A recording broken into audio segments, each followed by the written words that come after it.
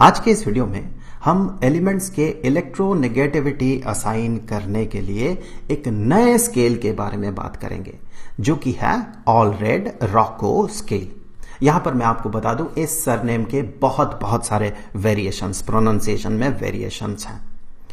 खैर, चलिए आगे बढ़ते हैं।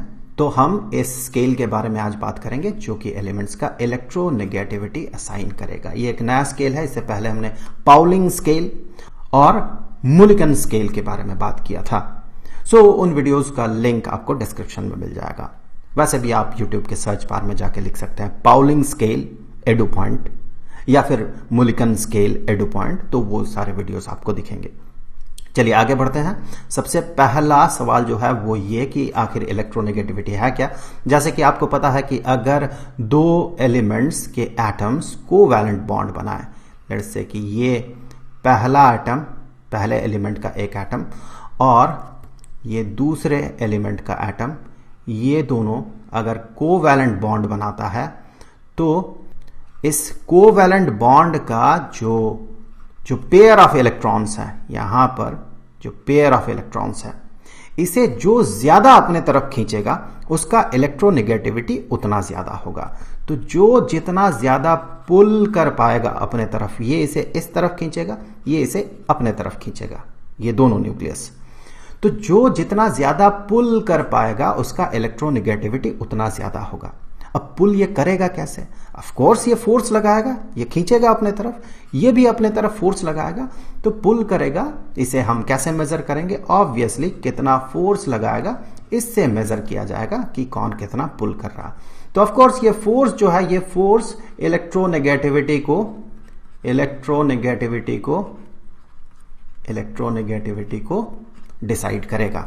जितना ज़्यादा फोर्स लगाएगा, जिस एटम का न्यूक्लियस जितना ज़्यादा फोर्स लगाएगा, उसका इलेक्ट्रोनेगेटिविटी उतना ज़्यादा होगा। चलिए देखते हैं। लेट अस से कि ये है एटम वन ये एटम वन है, और ये जो है एटम टू है। अब एटम वन इस पे फोर्स लगाता है। एटम वन इस पे फोर्स लगाता है लेट से कि F1 और एटम टू जो है इस पे फोर्स लगाता है, लेट से F2 तो फिर अगर F1 F1 F2 से बड़ा होता है तो हम कहेंगे एलिमेंट वन का इलेक्ट्रोनेगेटिविटी एलिमेंट टू के इलेक्ट्रोनेगेटिविटी से ज़्यादा होगा। तो ये जो फोर्स है, यही डिसाइड करेगा इलेक्ट्रोनेगेटिविटी को। होना भी चाहिए। फोर्स ही तो पुल करेगा। फोर्स से ही तो पुल किया जाएगा। जितना ज़्यादा जो पुल कर पाएगा, उसका इलेक्ट्रोनेगेटिविटी उतना ज़्यादा होगा। तो ये फोर्स इलेक्ट्रोनेगेटिविटी को डिसाइड करेगा। अब इस फोर्स को देखें। ये जो फोर्स है, ये किस किस फैक्टर पे डिपेंड करेगा? ये न्यूक्लियस जो है, ये न्यूक्लियस पेयर ऑफ़ इलेक्ट्रॉन को, शेयर्ड पेयर ऑफ़ इलेक्ट्रॉन जो है, उसे अट्रैक्ट कर रहा है, फोर्स लगा रहा है। तो ये जो फोर्स है ऑफ़ कोर्स ये फोर्स इस न्यूक्लियर चार्ज पर डिपेंड करेगा। ये F2 को ही देख ले। इस पे जो इस डायरेक्शन में फोर्स लगेगा, वो इस न्यूक्लियर चार्ज पर डिपेंड करेगा। और इस डायरेक्शन में जो फोर्स लगेगा, वो इस न्यूक्लियर चार्ज पर डिपेंड करेगा। तो हम कह सकते हैं इन जनरल कि फोर्स जो है, वो न्यूक्लियर चार्ज पे डिपेंड करेगा। So force is proportional to nuclear charge अब यहाँ से हम आगे कह सकते हैं कि न्यूक्लियर चार्ज जो है, ये तो अटोमिक नंबर पे डिपेंड करेगा। सो ये फोर्स फोर्स जो है this is proportional to number of protons Z number of protons यहाँ पर जितना होगा, उस पर यह प्रोपोर्शनल होगा। अब गौर से सोचे कि बीच में बहुत सारे इलेक्ट्रॉन्स हैं कोर इलेक्ट्रॉन्स जिसे कहा जाता है। ये वेलेंस इलेक्ट्रॉन्स को पुश करता है बाहर की तरफ़। तो जो नेट इफ़ेक्ट होता है, जो net protons number of protons ये फील कर पाता है, ये valence electrons due to screening effect वो जेड फील नहीं कर पाता है, बल्कि उससे थोड़ा कम फील करता है, जिसे कि जेड इफ़ेक्टिव कहा जाता है। न्यूक्लियर चार्ज इफ़ेक्टिव और साथ ही साथ ये फोर्स जो है, ये इनवर्सली प्रोपोर्शनल होता है। कूलॉम्स लॉ आप याद करें, ये इनवर्सली प्रोपोर्शनल होगा न्यूक्लियस से इस बॉन्ड तक का डिस्टेंस का। सो कोवेलेंट बॉन्ड का जो डिस्टेंस होगा, उस डिस्टेंस के स्क्वायर पे इनवर्सली प्रोपोर्शनल होगा।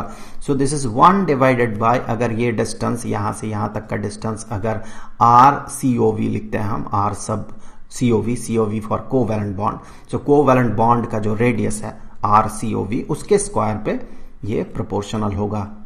इसके स्क्वायर पे ये प्रोपोर्शनल होगा। और ये जो है, ये क्या है? ये कूलम्स लॉ है। दिस इज़ कूलम्स लॉ आगे बढ़ते हैं।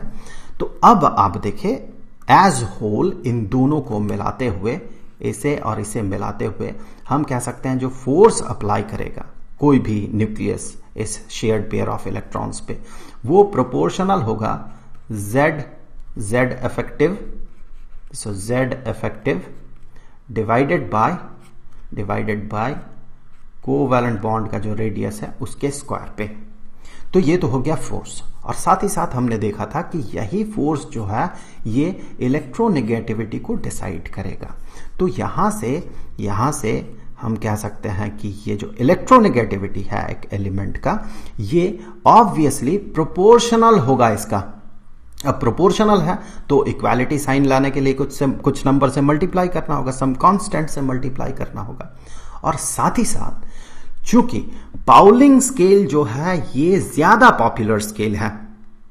न ही मुलिकन स्केल और न ही ऑलरेड रॉको स्केल बल्कि सबसे पॉपुलर जो है वो है पाउलिंग स्केल तो उस स्केल में एलिमेंट्स का जो इलेक्ट्रोनेगेटिविटी का वैल्यू है, उसके साथ इस स्केल में मिला इलेक्ट्रोनेगेटिविटी के वैल्यू को एडजस्ट करने के लिए कुछ नंबर हमें ऐड भी करना होगा।